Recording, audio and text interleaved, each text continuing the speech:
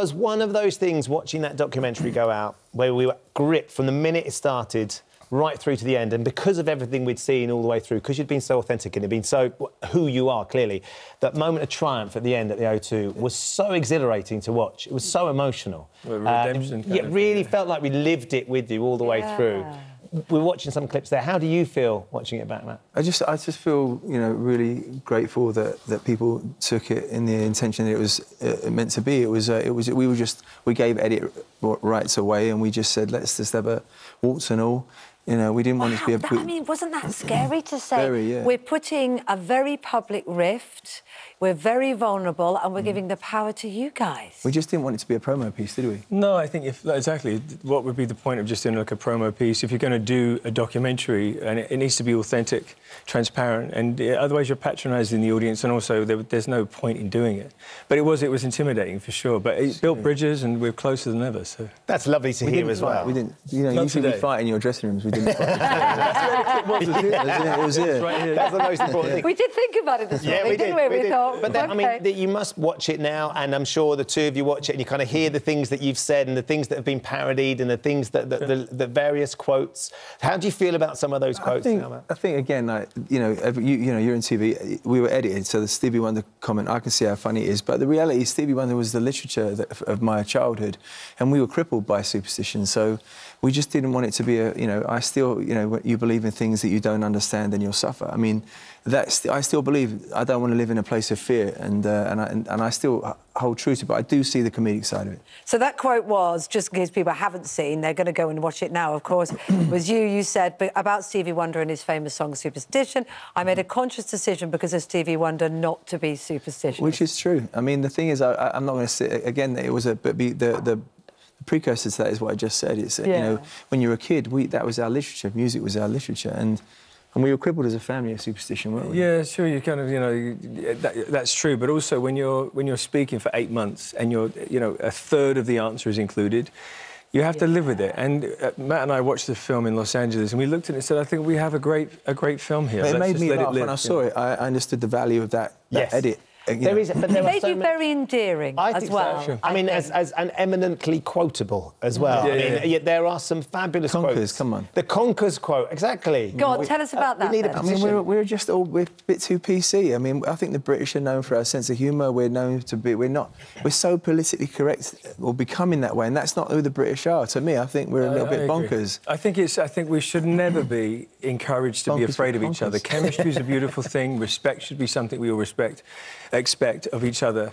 But um, I think chemistry and interaction is something we should we should fight for because it's how we communicate innately. Absolutely. one and of- you only had, we can't play Conkers now because people are about safety, but one of the things I loved about it is when you said, when we were kids, the only toy we had was a dart. Not a dart board, just a dart, and we throw it around at each other. That was true. It was. It, we throw it that way, and we try and see how long we could My stand. granddad really did pull it out of my rib. He just he went, there you go. Not fiction. That was a true story. That was absolutely. Uh, one of my favourite quotes, if you don't mind, I want to indulge this to get your thoughts, is the quote about Rome. Okay, but one of the management had said to me, guys, you know, Rome wasn't built in a day. I'm like, dude, we got two weeks. so it was a summary of that point. so, it- you know, it- so the intention and the heaviness was because we But just if we been did at the time Rome had, it would have been a better gig, right? Yeah, it would have been perfect.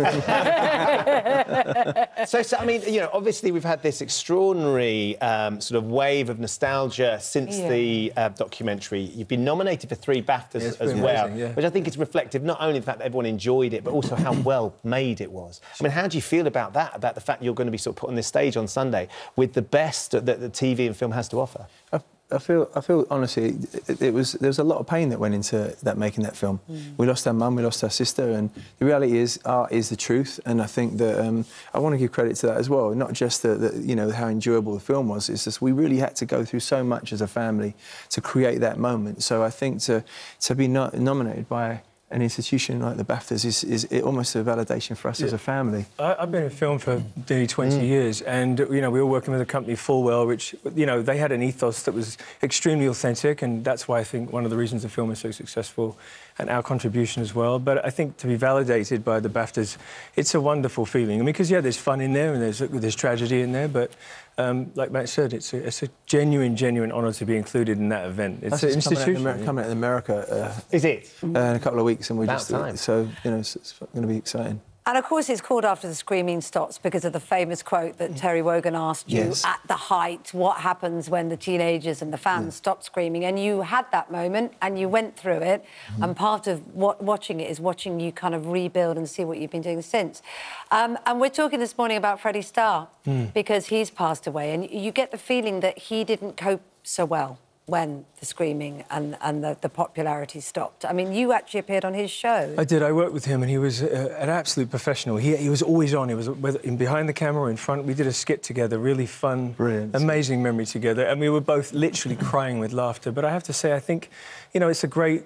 It's a nice thing to mention because whether somebody's at the height of their fame or in one of the valleys of success, you know, be, be nice to them. Be, you know, I say that to the public. Be nice. Be, Also, be fame doesn't tough. fame doesn't go away. Freddie Starr is always going to be Freddie Starr. So Yeah. no matter what, if he's on a, a national TV show and it's number one show, or he's Freddie Starr, he's still Freddie Starr. You can still hard for him to walk down the street and be that famous. Yeah. I mean, It's a great fame loss. doesn't go away. It's a huge loss. Uh, let's talk about what you've been doing since, though, of course. Uh, Are we getting more music? Is there albums coming? There's going to be more gigs? Yeah, we're doing. Uh, we're playing uh, Brixton Academy uh, July 5th. Can't wait. Uh, it's going to be a noisy gig. It's going to be a really. Have you got more than two weeks to get it together, though? Luke? Two and a half weeks. Two and a half weeks. and are you doing another documentary? There's rumours that you might be doing another documentary. We're, we're definitely in talks uh, in numerous uh, big production houses about, with, but we're definitely in talks about another film. Yeah. And what about new music and a, an album? Is that happening? Is that done? Uh, absolutely, yeah. We're, we're in talks with a bunch of companies. We're trying to find the right home, basically. But uh, Matt and I are going to make an album. We want to make new music, and uh,